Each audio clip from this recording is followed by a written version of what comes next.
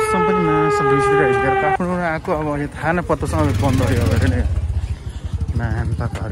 मूल्य वृद्धि के के वृद्धि पहिला गाडीको भाउबाट नि कहिले पेट्रोलको भाउबाट नि कहिले के गर्छ यार सरकार मासलहरू यार रिस उठाएछ कसम पनि म त हानिदिन्छु मौजी बाटो बाटो बिच बिच राखेर बम राखेर बाटो चाहिँ भत्काइ नि त रिस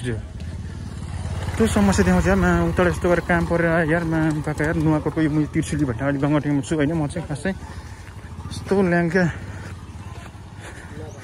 रिसिटेज यार यस्तो हिँड्नु पनि पर्ने बाटो नराम्रो छ यार। के किन वृद्धि वृद्धि गर्ने कहिले घटाउने कहिले के गर्ने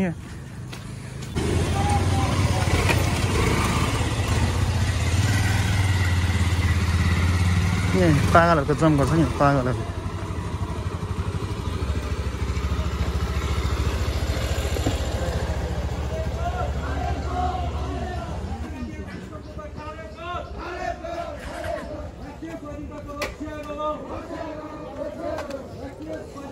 Yeah.